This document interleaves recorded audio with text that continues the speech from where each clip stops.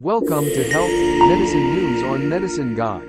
It is found in an article published in businesswire.com/news on February 12, 2024 that FDA approves Takeda's EOHILIA budesonide oral suspension, the first and only oral treatment in the US for eosinophilic esophagitis. 12 weeks of treatment with EOHILIA may address significant unmet needs of patients 11 years of age and older.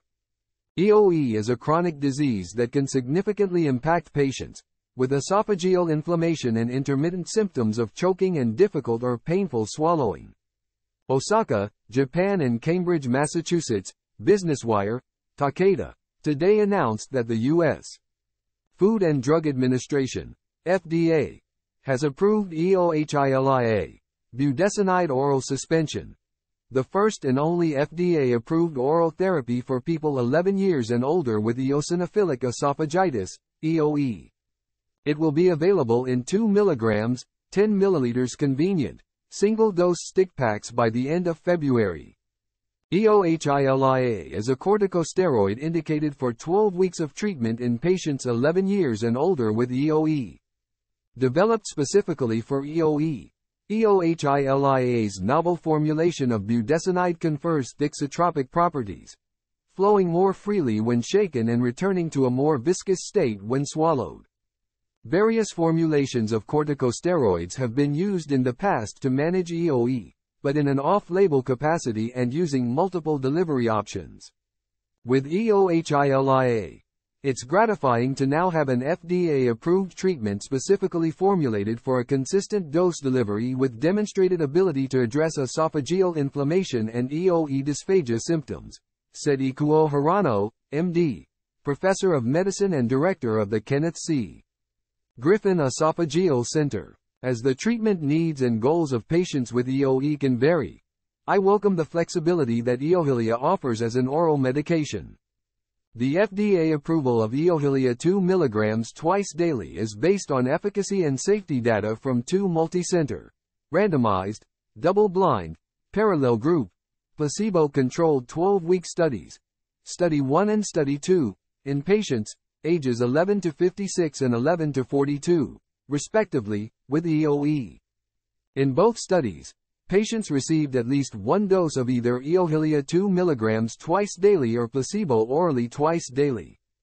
Efficacy endpoints included histologic remission, peak eosinophil count of as less than or equal to 6 per high-powered field across all available esophageal levels, and the absolute change from baseline in patient-reported dysphagia symptom questionnaire, DSQ, combined score after 12 weeks of treatment.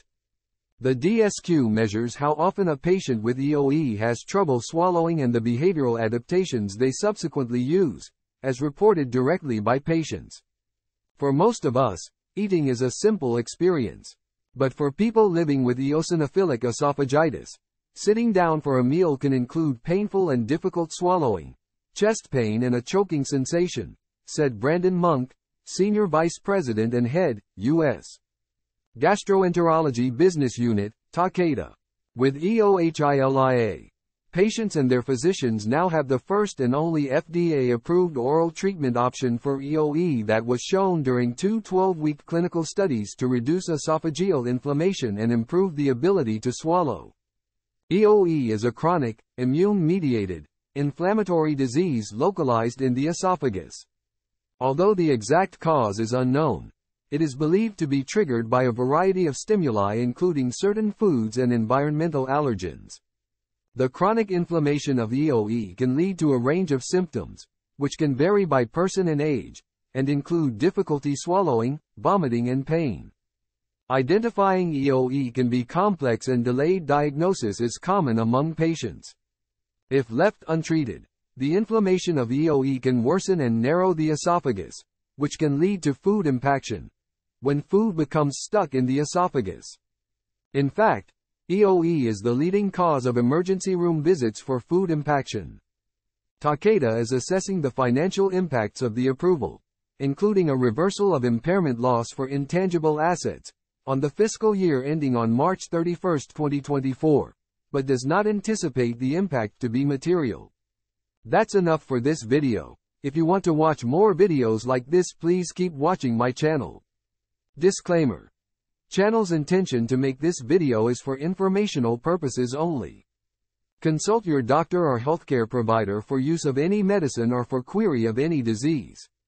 Thank you for watching the video. Please do not forget to like share and subscribe to my channel Medicine Guide. Up next pharmacology of EOHILIA. Budesonide.